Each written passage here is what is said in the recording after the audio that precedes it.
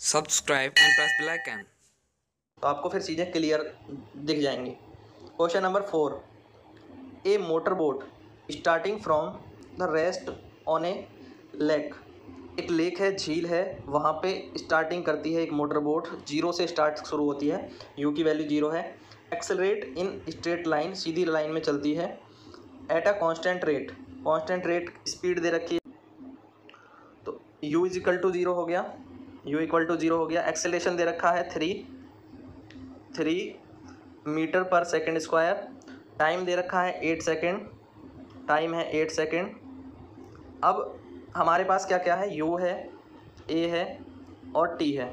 देखो, फिर से वैसे ही नोमेरिकल क्या पूछा है? Find out the how far does the boat travel in the that time s की वैल्यू पूछी है तो वी का कहीं पे ज़िक्र नहीं है तो जब वी नहीं होता है तो कौन सी इक्वेशन लगती है? सेकंड इक्वेशन तो सेकंड इक्वेशन हमने अप्लाई करी. S is equal to u t plus half a t square second equation आपने अप्लाई करी s is equal to u t plus half a t square t की value eight है a की value three है. U की value zero है, तीनों value put कर दो. तो u t zero into eight zero ही हो जाएगा.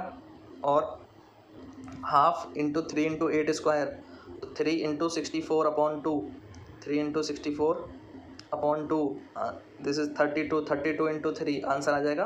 नाइन्टी सिक्स मीटर कितना आ जाएगा? नाइन्टी सिक्स मीटर तो ज़ीरो वो तो ये वाला पार्ट तो कैंसिल हो जाएगा ज़ीरो हो जाएगा। तो यहाँ टू से इसको कैंसिल कर दिया एक बार चार बार। तो तीन गुना चार गुना आठ तो नाइन्टी सिक्स आ जाएगा आपका। Three multiply four multiply eight Thanks for watching. Like this video, share this video, and comment in the comment box. Subscribe our channel The Study Adda.